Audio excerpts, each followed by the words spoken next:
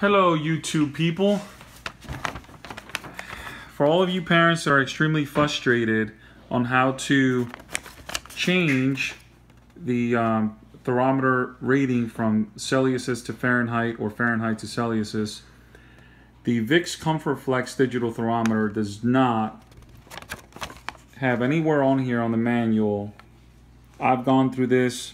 I, I've read it in English and Spanish and no information on here will tell us how to change it uh, your your control between Celsius and Fahrenheit or back and forth vice versa. It won't it won't tell us anything. And good luck trying to find on Google how to do so. I did come across one particular PDF file for a different Vicks thermometer that stated that if I press and hold the power button after five seconds, it will give me the option to change it, and that is completely false. So, the most fastest and easiest way to do this is what my wife suggested. You take this China-made product, flip it, take the cap off, take the battery out, wait about 10 seconds, put it all back together. It's very simple. There's a little unlock button there.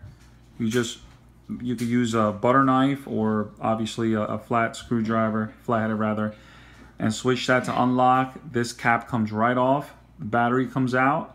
Wait 10 seconds, put it back on. You press and hold the power button. And voila, you get Fahrenheit. Unbelievable. It's something so simple like that should have been listed on the manual, but what do you expect if it was made in China? Have a good evening.